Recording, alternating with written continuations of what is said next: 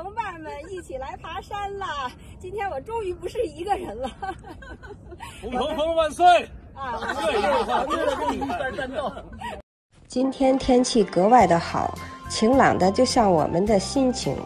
蓝天下的山峰红绿相间，甚是好看。这是茶棚，别看它简陋，它盘踞要地，四通八达，在驴友们心里的地位是不可取代。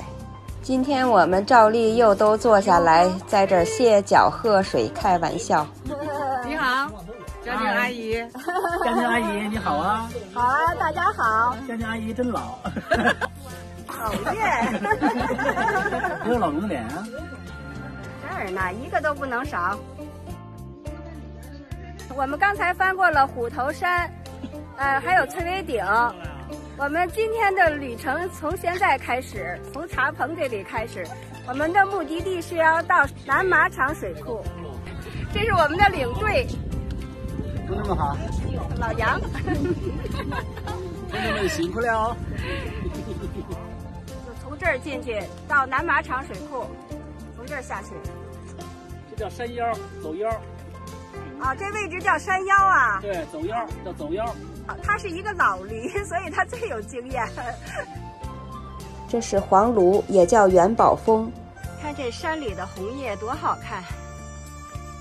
这条小山路简直就是红叶之路。今天天气好，爬山的人也多。我们走在窄窄的山路上，这儿有点背阴了。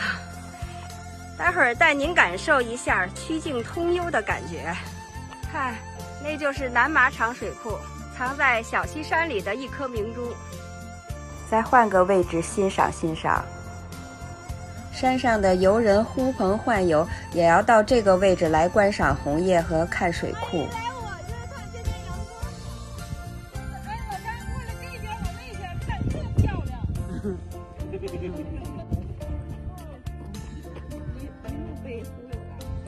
我们已经到达南马场水库，看这儿的芦苇多漂亮！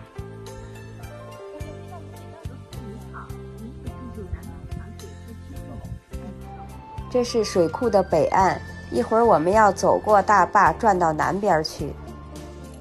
这就是南马场水库，波光粼粼，漫山红叶。对面这座山就像是一道屏障，隔出了两个世界。平时啊，这个里这边特别的清静，那边就比较喧闹。在山的那边就是香山公园和西山森林公园。现在是红叶最旺盛的时期，所以这里头也比较人多了。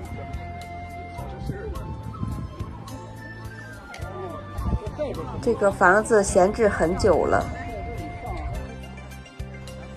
大坝下的西南角是个神秘的地方，平时我们很少来。上边就是南马场水库大坝，下边这儿还做了一个景观。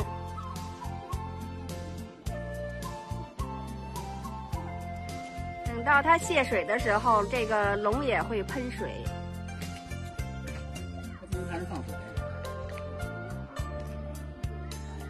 我属虎，和老龙合个影。从不同的角度看大坝。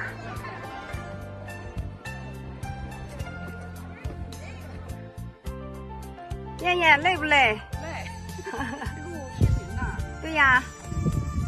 采访你一下。累值得。就是。今天视频就录到这里，谢谢收看，欢迎您关注我，咱们下期再见。